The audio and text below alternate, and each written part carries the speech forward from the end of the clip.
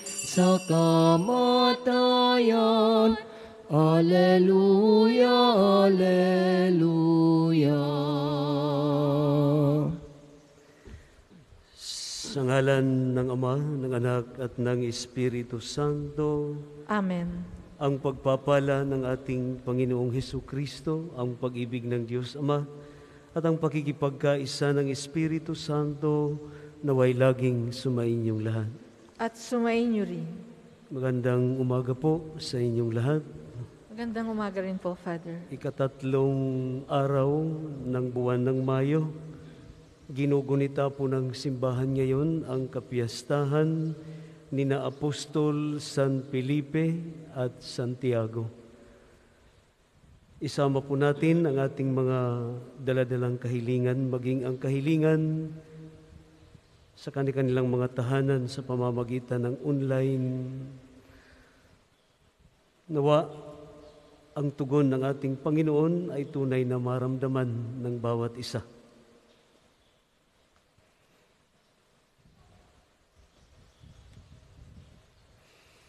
Atin pong aminin ang ating mga kasalanan upang tayo'y maging marapat gumanap sa banal na pagdiriwang. Inaamin ko sa makapangyarihang Diyos at sa inyo mga kapatid. na lubha akong nagkasala sa isip, sa salita at sa gawa at sa aking pagkukulang. Kaya isinasamo ko sa mahal na Berhing Maria, sa lahat ng mga anghel at mga banal, at sa inyo mga kapatid, na ako'y ipanalangin sa Panginoong ating Diyos. Kawaan tayo ng makapangyarihang Diyos, patawarin tayo sa ating mga kasalanan, at patnubayan tayo sa buhay na walang hanggan. Amen. Panginoon, kaawaan mo kami. Panginoon, kaawaan mo kami. Kristo, kaawaan mo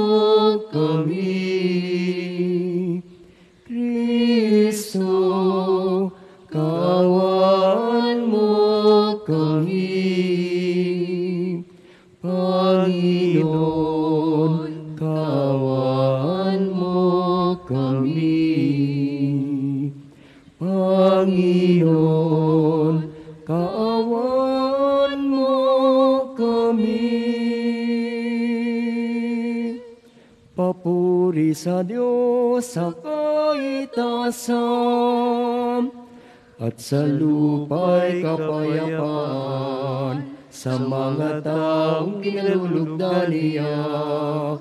Pinupuri ka namin, dinarangal ka namin, sinasamba ka namin, pinagbubunyi ka namin, pinasasalamatan ka namin, dahil sa dakila mong angking kapurihan.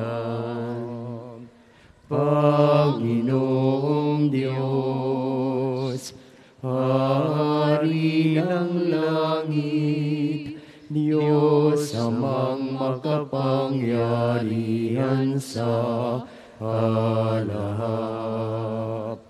Panginoong Heso Kristo bugtong na anak, Panginoong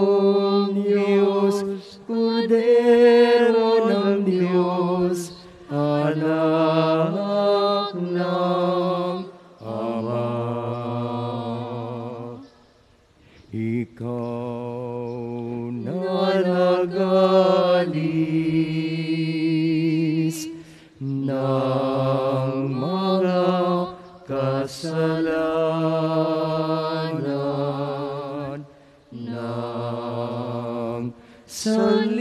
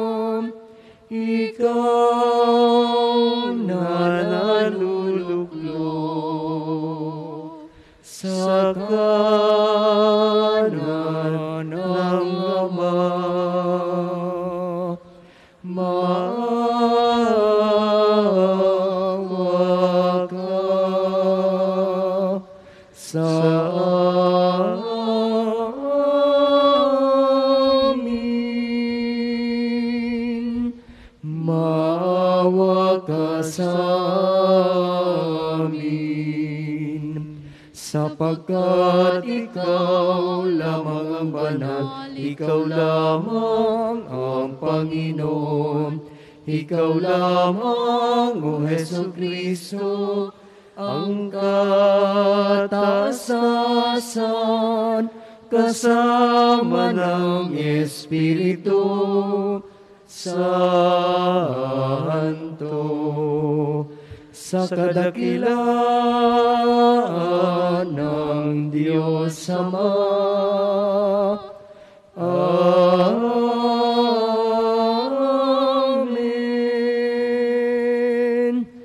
Amen.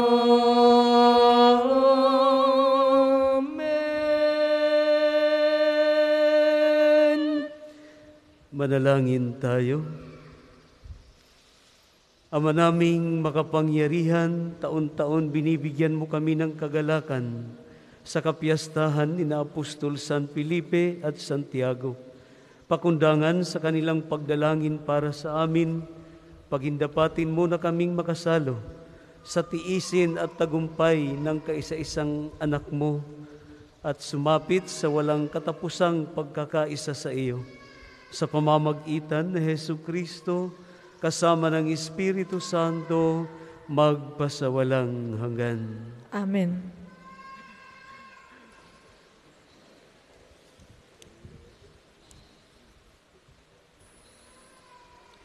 Pagbasa mula sa unang sulat ni Apostol San Pablo sa mga taga-Korinto. At ngayoy ipinapaalaala ko sa inyo, mga kapatid, ang mabuting balita na ipinangaral ko sa inyo. Yan ang inyong tinanggap at naging saligan ng inyong pananampalataya.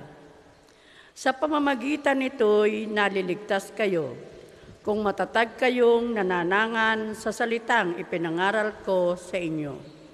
Liban na nga lamang kung kayo'y sumasampalataya na di iniisip ang inyong sinasampalatayanan. Sapagkat ibinigay ko sa inyo itong pinakamahalagang aral na tinanggap ko, ko rin. Si Kristo'y namatay dahil sa ating mga kasalanan bilang katuparan ng mga nasasaad sa kasulatan. Inilibing siya at muling nabuhay sa ikatlong araw, ayon din sa kasulatan. At siya'y napakita kay Pedro, saka sa labindalwa. Pagkatapos, napakita siya sa mahigit na limandaang kapatid na nagkakatipon. Marami sa kanila'y buhay pa hanggang ngayon, bagamat patay na ang ilan. At napakita rin siya kay Santiago, saka sa mga apostol na sama-sama noon. Sa kahuli-hulihay, nagpakita rin siya sa akin, bagamat ako'y tulad ng batang ipinanganak ng di kapanahunan. Ang salita ng Diyos. Salamat sa Diyos. Salmong tugunan, laganap na sa daigdig ang kanilang mga tinig. Laganap na sa daigdig ang kanilang mga tinig. Ang langit ay naghahayag na ang Diyos ay dakila, Malinaw na nagsasaad kung ano ang kanyang gawa. Bawat araw, bawat gabi, ang ulat ay walang patlang. Patuloy na naguulat sa sunod na gabit araw. Laganap na sa daigdig ang kanilang mga tinig. Walang tinig o salitang ginagamit kung sa bagay, at wala ring naririnig na kahit na anong ingay. Gayunpaman sa daigdig ay laganap yaong tinig. Ang balita'y umaabot sa duluhan ng daigdig. Laganap na sa daigdig ang kanilang mga tinig. Ang lahat po ay magsitayo. Alleluia, Alleluia, Alleluia, Alleluia, Alleluia, Alleluia, Alleluia, Alleluia. Felipe ako ang daan, katotohanan at buhay. Amay sa aking matatanaw. Alleluia, Alleluia, Alleluia,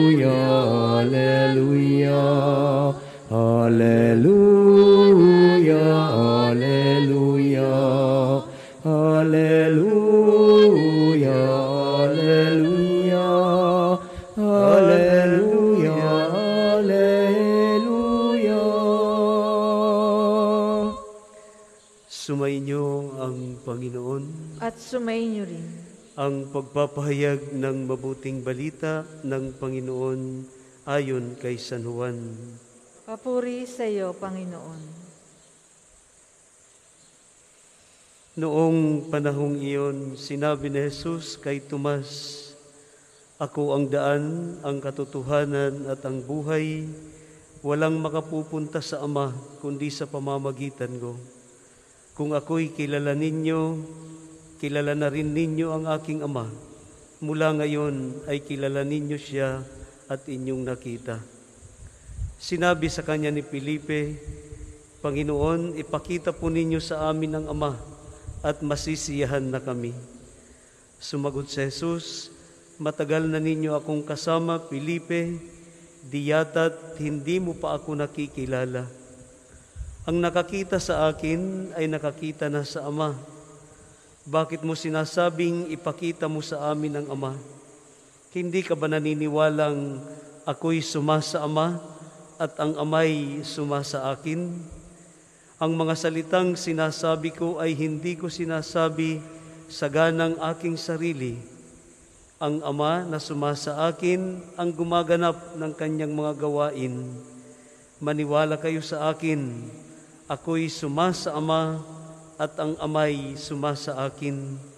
Kung ayaw ninyong maniwala sa sinasabi ko, maniwala kayo dahil sa mga gawang ito.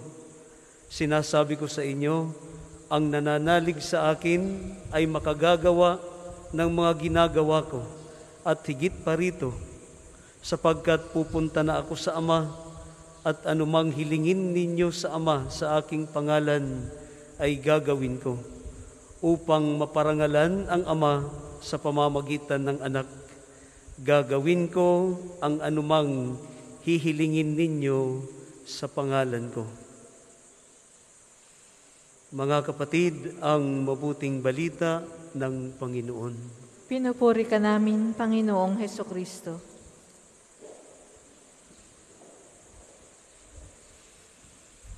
Ang dalawang apostol na ating ipinagdiriwang ngayon ay hindi masyadong kilala, lalong-lalo na si Santiago, na kung saan ay kakaunti lamang po ang ating mababasa sa bagong tipan patungkol kay Santiago.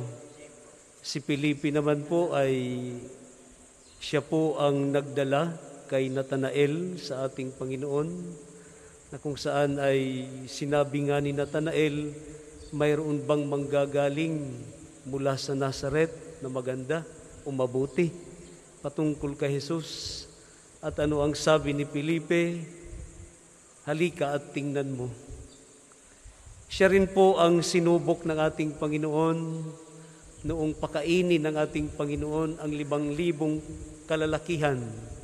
Hindi pa kasama ang mga babae at mga bata na galing lamang sa limang tinapay at dalawang isda na nakakain ang lahat, nabusog ang lahat at mayroon pang lumabis, labindalawang bakol ang kanilang naipon.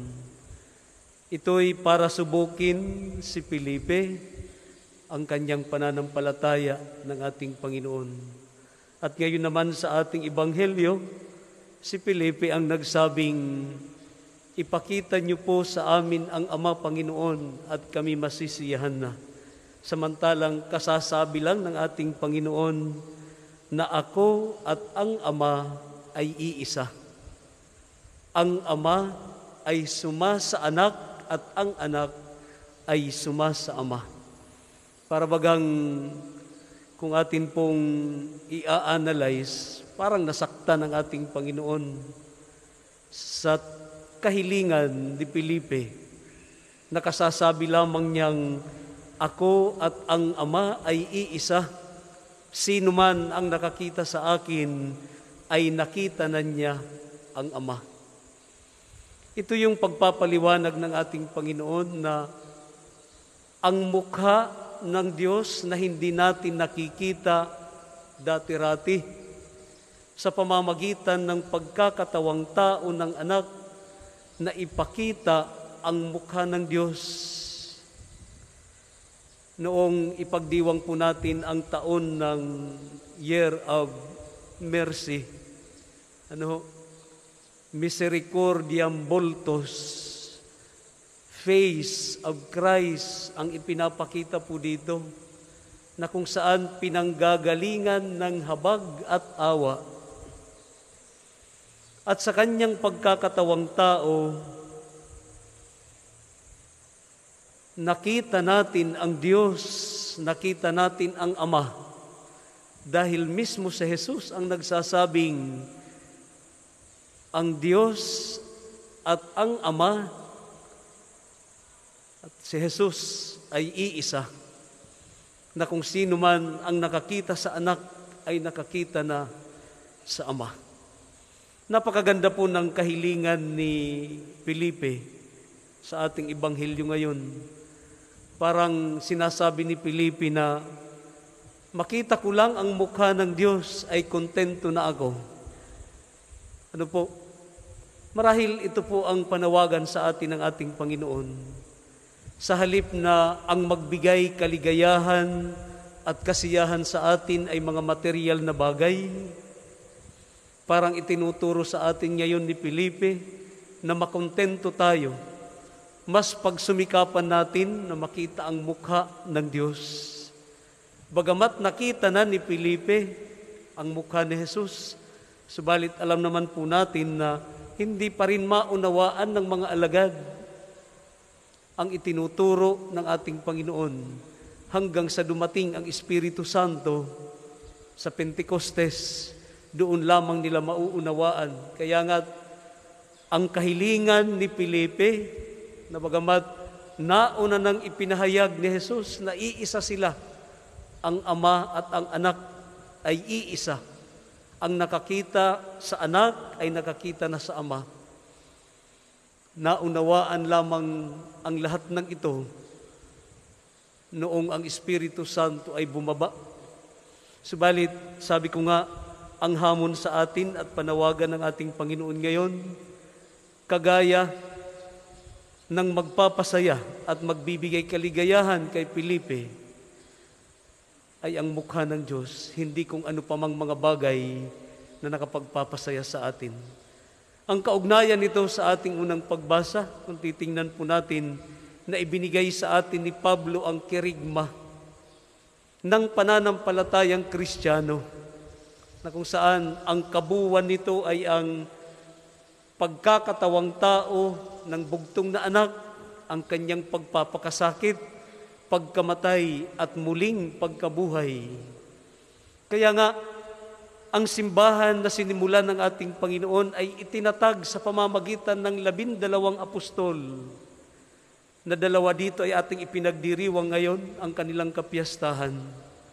Matibay ang simbahan dahil ito'y founded sa mga apostol na binuo ng ating Panginoon na kanyang tinuruan. Kaya nga ang ating simbahan, katoliko, ibig sabihin, pangkalahatang relihiyon. Dahil ito po ang panawagan ng ating Panginoon bago siya umakyat sa langit nung sabihin niyang, binyagan ninyo ang lahat ng bansa, gawin ninyong mga alagad ang lahat ng bansa, binyagan ninyo sa pamamagitan ng Ama, ng Anak at ng Espiritu Santo at ito'y nakabase doon sa mga apostol na kanyang pinili na magpapasimula ng kanyang mabuting balita na ipapahayag sa sangkatauhan. Apostolic Church, maliban sa pangkalahatan, ang simbahan, katoliko, ito po'y nakabatay at sandigan ng mga apostol ang pananampalataya nagsimula sa mga apostol ang itinuro na ngayon ay kalat na sa buong daigdig. Ito yung relihiyon na isiniwalat ng mga apostol. Nawa sa ating pagdiriwang ng kapiyastahan na ito ni na Apostol San Felipe at Santiago, tunay nga po na ang bawat isa sa atin mas lalo pang lumalim ang ating pananampalataya Nasabi ko nga po, nawa ang pagsumikapan natin ang makita ang mukha ng ating Panginoon pagdating ng panahon na tayo'y tatawagin na ng ating Panginoon sa pamamagitan ng kamatayan na mismo ang Diyos ang magbibigay sa atin. Muli, hindi nawa mga bagay na material ang magpasaya sa atin, kung hindi ang mukha ng ating Panginoon na makikita natin pagdating ng araw. Amen.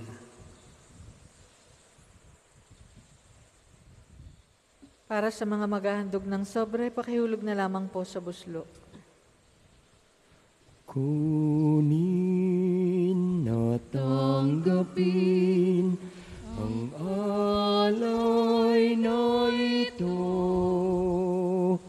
mga biyayang nagmula sa pagpapala mo. Tanda ng bawat puso, pagkat inibig Ngayoy nananaling nagmamahal sa'yo. Tinapay na nagmula sa butil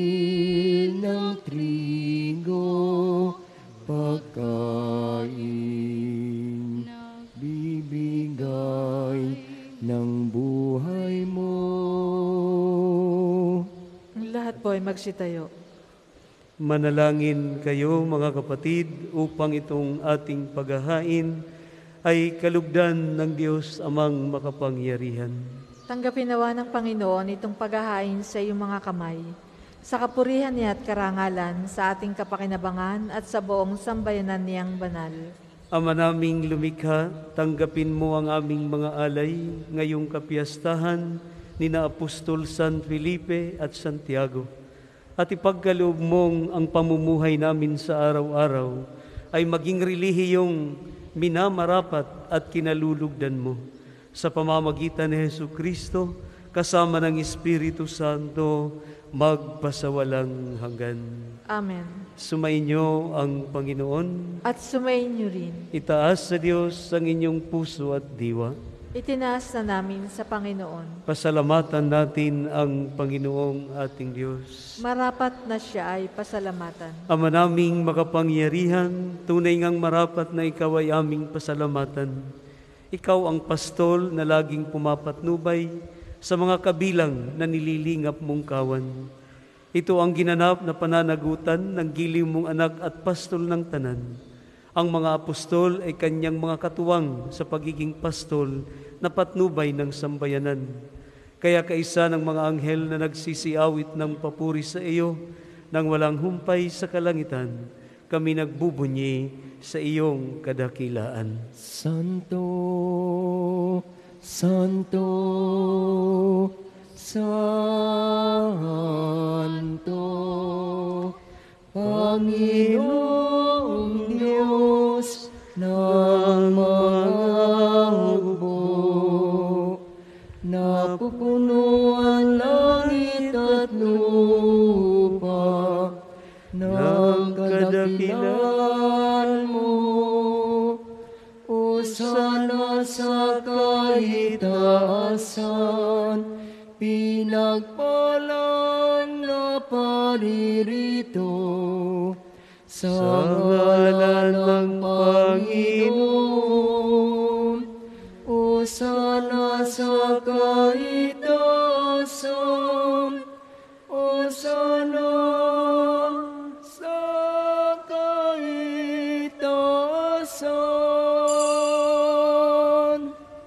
Kung hindi kayang lumuhod, manatili pong nakatayo ng may paggalang.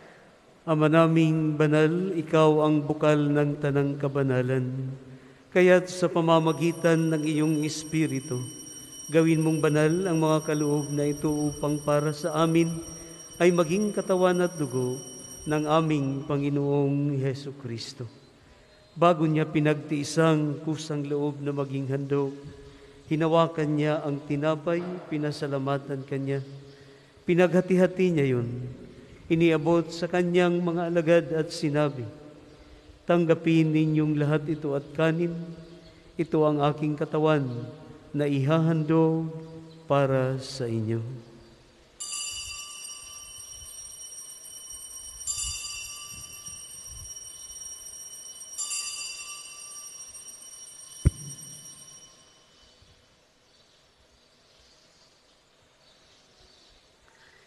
Gayon din naman nang matapos ang hapunan, hinawakan niya ang kalis at muli kanyang pinasalamatan. Iniabot niya ang kalis sa kanyang mga alagad at sinabi, Tanggapin ninyong lahat ito at inumin. Ito ang kalis ng aking dugo ng bago at walang hanggang tipan. Ang aking dugo na ibubuhos para sa inyo at para sa lahat sa ikapagpapatawad ng mga kasalanan. Gawin ninyo ito sa pag-alala sa akin.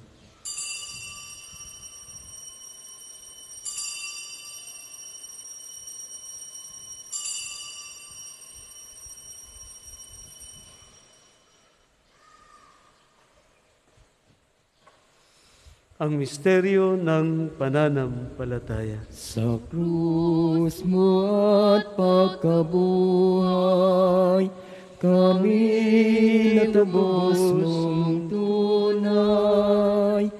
O Jesus, naming mahal, iligtas mo kaming tanan.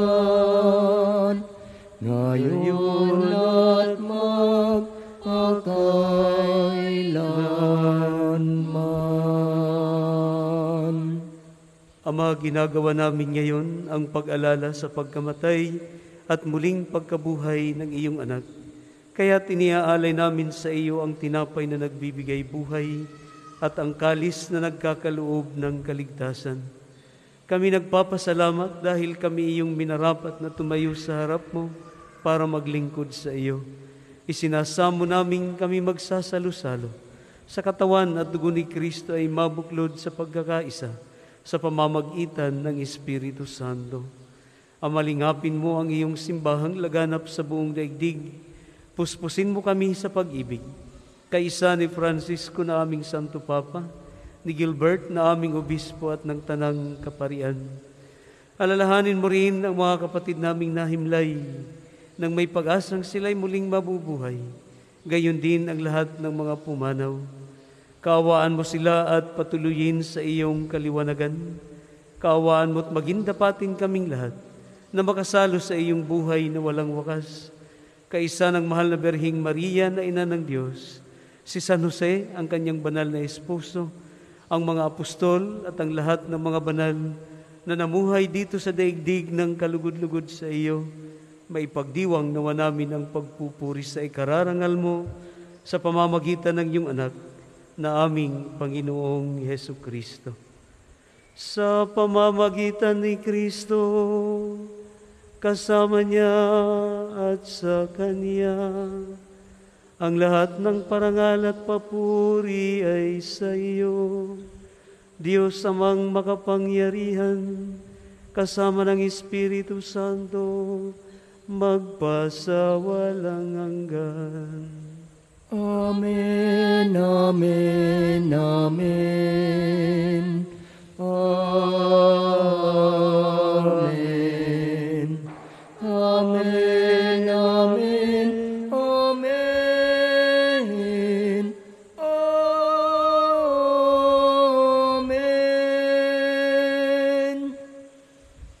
Sa tagubilin ng mga nakagagaling na utos at turo ni Jesus na Panginoon natin at Diyos, ipahayag natin ng lakas loob. Ama namin, sumasalangit ka. Sambahin ang ngalan mo. Mapasa amin ang kaharian mo. Sundin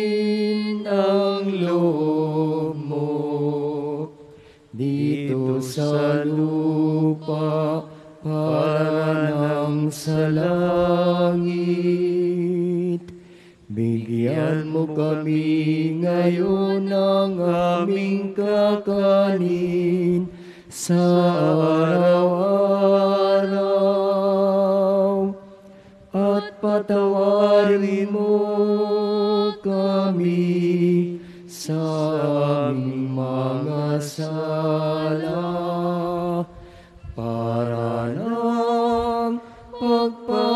pagpapatawad namin sa nagkakasala sa amin. At huwag mo kaming ipahintulot sa tukso at iadya mo kami sa lahat ng masama. Hinihiling namin kami adya sa lahat ng masama, pagkalooban ng kapayapaan araw-araw, iligtas sa kasalanan at ilayo sa lahat ng kapahamakan, samantalang aming pinananabikan ang dakilang araw ng pagpapahayag ng tagapagligtas naming sa Heso Kristo. Sapagkat iyo ang kaharian at ang kapangyarihan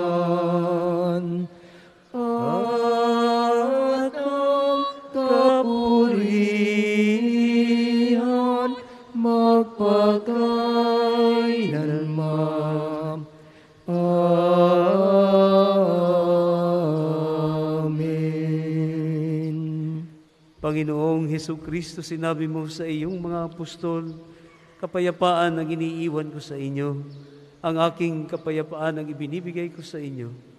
Tunghayan mo ang aming pananampalataya at huwag ang aming mga pagkakasala.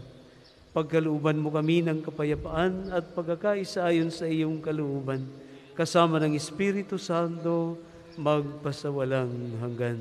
Amen. Ang kapayapaan ng Panginoon, naway laging sumayin yung lahat.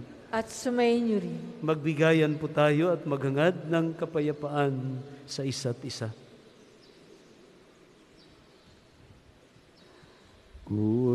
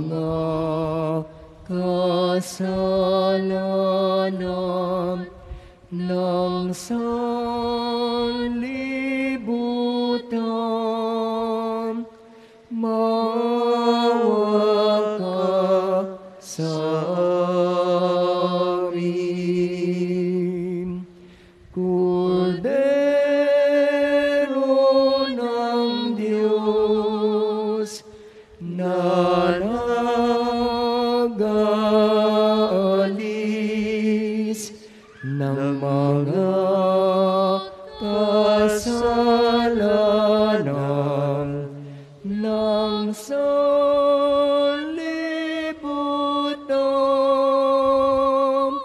Ipagkaloob mo sa amin ang.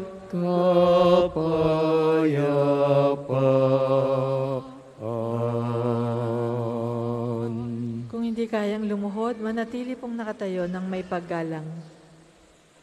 Mga kapatid, na ito ang ating Panginoong Hesus, ang kordero ng Diyos na nag-aalis ng mga kasalanan ng sanlibutan. Mapapalad po tayong inaanyayahan sa kanyang banal na salo-salo. Panginoon, hindi ako karapat-dapat na magpatuloy sa iyo. Ngunit sa isang salita mo lamang ay gagaling na ako. Ang katawan ni Kristo. Amen.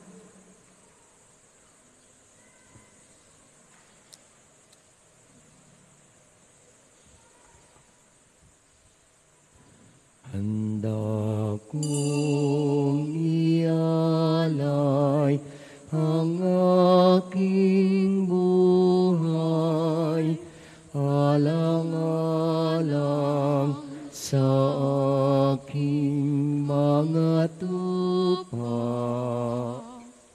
Handa kong ibuwis ang lahat ng sa akin alang-alang sa iyong kaligtasan. Batid ko kung sino ikaw, akong pastol mong sa'yo'y nagalaga. Batid mo rin kung sino ako na nagmamahal sa iyong lubos. Handa kong ialay ang aking buhay alang-alang sa aking mga tupa. Handa kong ibuwis ang lahat ng sa akin alang-alang sa iyong kaligtasan. Kahit na mawalay sa aking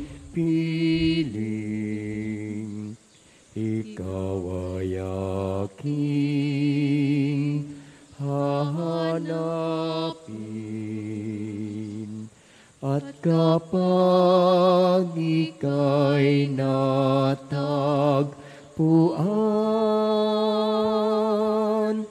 pauwi sa balikat kong ipapasam.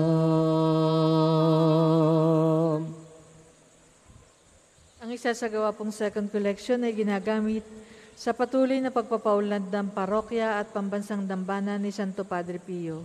Salamat po sa inyong mga handog. Handa kong ialay ang aking buhay alang-alang sa aking mga tupa. Handa kong ibuwis ang lahat ng sakin alang-alang sa iyong kaligtasan.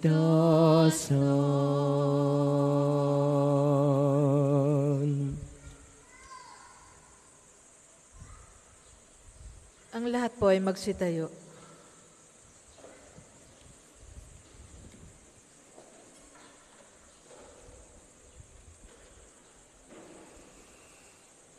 Manalangin tayo.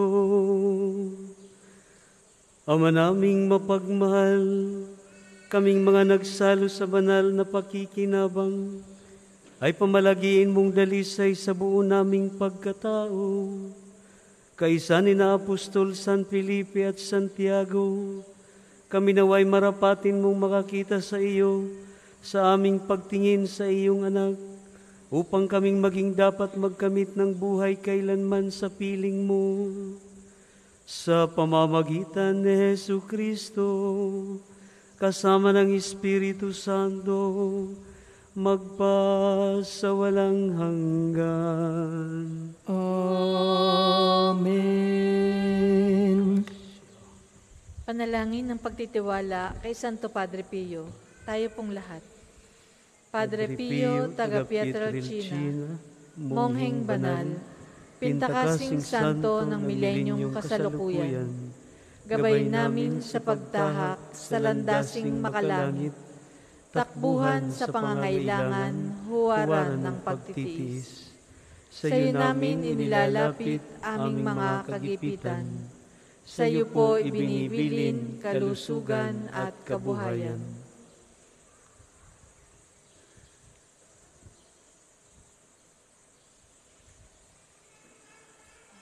Di man karapat-dapat, kami, po ay pagbigyan, bendisyonan at basbasan, maging ganap sa buhay. Lumayo nawa kami, umiwas sa kasalanan. Lumapit lagi sa Diyos, maging matatag at matibay. Sa mabuting balita ng pagliligtas, turuan mo kami nawa, sa sa tuwina ay makinig, magnilay at sumampalataya. Amin pong pakiusap itong mga kahilingan. Puso ay nagsisisi, nagtitikang taimtiman. Di na muling magkasala, sunod lagi sa Diyos Amang, kaysa ng Espiritu at ni Jesus na tagapamagitan. Amen. Amen. Tayo po muna magsiupo para sa mga patalastas. Una, sa inyong pagdalaw sa pambansang dambana, mangyaring pakaingatan ng inyong mga personal na gamit. Hangad namin ang isang matiwasay at maayos na pagbisita sa National Shrine. Ikalawa, mga kapiyo, kung inyo pong mapapansin ay sira na at kailangan ng ipagawa ang extension area sa pagitan ng Main Church at Divine Mercy Sanctuary. Muli po kaming nananawagan sa mga may mabubuting puso na nagnanais maging bahagi ng pagawaing ito. Mangyaring makipag-ugnayan po kayo sa opisina ng parokya o sa pamisahan para sa inyong mga tulong at donasyon. Ikatlo, isang mahalagang paalaala. Mangyaring mag-ingat po tayong lahat sa mga kumakalat na fake account sa Facebook na gumagamit ng ating mga official na video testimonies upang makapagbenta ng di umano'y blessed oils at iba pang mga banal na bagay. Hindi po ito mula sa pambansang dambana at kailan may hindi tayo maring magbenta ng mga binasbasang bagay. Maging maingat po ang lahat. Ikaapat, kaugnay po ng isinagawang grand opening ng ating Kapio Osteria, ay mahigpit tayong pinaalalahanan sa ating panawagang Clego, Clean as you go, sa lahat ng mga lugar sa loob ng pambansang dambana, lalo tigit sa Osteria. Ipinaalam din po sa lahat na gamit ang ating main arc entrance, tayo ay may mga malalaking free parking dito sa loob ng pambansang dambana.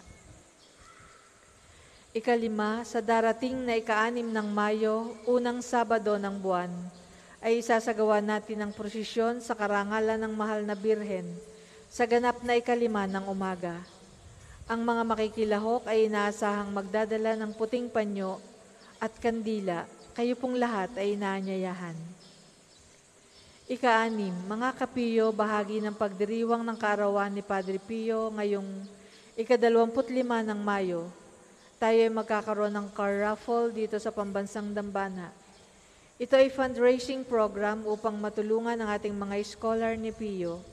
Mari kayong makabili ng tickets sa pamisahan, sa HR office o sa mga naka-station sa paligid ng simbahan sa halagang limandaang piso lamang. Panoorin po natin ito. Ang susunod pong misa ay sa ganap na ikasampu ng umaga. Maraming salamat po at mangyaring panatilihin natin ang kalinisan, katahimikan at diwa ng pananalangin sa loob at labas ng ating mga simbahan. Magsitayo na po ang lahat para sa pagbabasbas ng religious articles. Mga kapatid, manalangin tayo sa Diyos amang makapangyarihan upang tayo ay maging kawangis ni Kristo sa taimtim na pagdalangin sa tulong ng mga larawan at mga dasalan. O Panginoong Diyos, Ikaw ang bukal ng lahat ng pagpapala at biyaya. Ibuhos po ninyo ang inyong bendisyon sa mga gamit na ito sa pananalangin na nagpapaalala ng iyong kabutihan, kabanalan at pagmamahal sa aming lahat upang ang lahat na dumulog at magdasal gamit ang mga ito ay magtamo ng iyong awa at biyaya. Loobin mong tularan namin ang kabanalan at aral ng Panginoon at ng mga santo magpasawalang hanggan. Amen. Ama namin, sumasalangit ka. Sambahin ang ngalan mo. Mapasa amin ang kaharian mo. Sundin ang loob mo dito sa lupa para nang sa langit. Bigyan mo kami ngayon ng aming kakanin sa araw-araw. At patawarin mo kami sa aming mga sala para ng pagpapatawad namin sa nagkakasala sa amin. At huwag mo kaming ipahintulot sa tukso. At iadya mo kami sa lahat ng masama. Amen. Aba, Ginoong Maria, napupuno ka ng grasya. Ang Panginoong Diyos ay sumasa iyo. Bukod kang pinagpala sa babaeng lahat, at pinagpala naman ang iyong anak na si Jesus. Santa Maria, Ina ng Diyos, ipanalangin mo kaming makasalanan, ngayon at kung kami mamamatay. Amen. Aba, Ginoong Maria, napupuno ka ng grasya. Ang Panginoong Diyos ay sumasa iyo. Bukod kang pinagpala sa babaeng lahat, at pinagpala naman ng iyong anak na si Jesus. Santa Maria, Ina ng Diyos, ipanalangin mo kaming makasalanan, ngayon at kung kami mamamatay. Amen. Papuri sa Ama at sa Anak at sa Espiritu Santo, kapara noong una, ngayon at magpasawalang hanggan.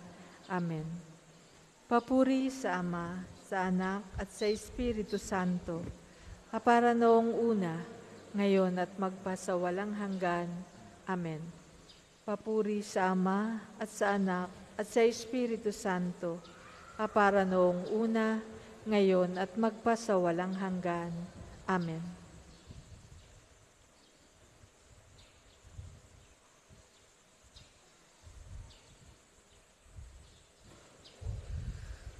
Sa inyo pong lahat, maraming maraming salamat sa inyong pakikiisa sa ating banal na pagdiriwang. Sumainyo ang Panginoon At sumainyo rin. at pagpalain po kayong lahat ng makapangyarihang Diyos, ang Ama, Anak at ang Espiritu Santo. Amen. Naialay na po ang banal na misa, humayo kayong mapayapa. Salamat sa Diyos.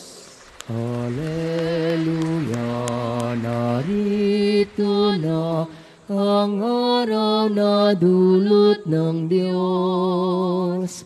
Nabuhay na si Kristong ating hari at manunubos.